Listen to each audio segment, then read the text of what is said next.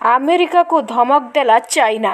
ଚାଇନାର ସରକାରୀ ଗଣମାଧ୍ୟମ ଗ୍ଲୋବାଲ ଟାଇମ୍ସର ସମ୍ପାଦକ ହୋ ଜିଜିନ୍ ନଅ ଏଗାର ଆତଙ୍କବାଦୀ ଆକ୍ରମଣର କୋଡ଼ିଏ ବର୍ଷ ପୂର୍ତ୍ତିରେ ଏକ ବଡ଼ ବୟାନ ଦେଇଛନ୍ତି। ଜିଜିନ୍ କହିଛନ୍ତି ଆମେରିକା ଚାଇନାକୁ ତାର ଶତ୍ରୁ ବୋଲି ଯଦି ଭାବିବ ତାହେଲେ ଆମେରିକା ବହୁତ ବଡ଼ ଭୁଲ କରିଛି।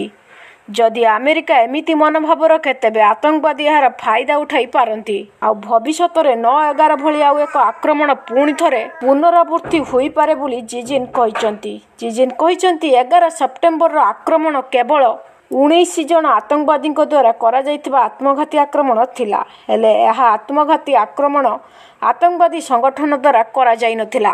ଆହୁରି ମଧ୍ୟ ଚେତାବନୀ ଦେଇ କହିଛନ୍ତି ଯେ କେତେଗୁଡ଼ିଏ ଆତଙ୍କବାଦୀ ସଂଗଠନ ଏକାଠି ହୋଇ ଆମେରିକାରେ ଆକ୍ରମଣ କରିବାର ଯୋଜନାରେ ଅଛନ୍ତି।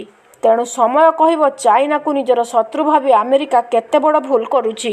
ଯଦି ଏମିତି ଭୁଲ କରିବ ତାହେଲେ ନିଶ୍ଚିତ ଭାବରେ ଚାଇନା ତାର ବଦଲା ନେବ ଆଉ ନଅ ଏଗାର ଭଳି ଆକ୍ରମଣ କରିବ ବୋଲି ଚେତାବନୀ ଦେଇଦେଇଛି ଚାଇନା ଆମେରିକାକୁ।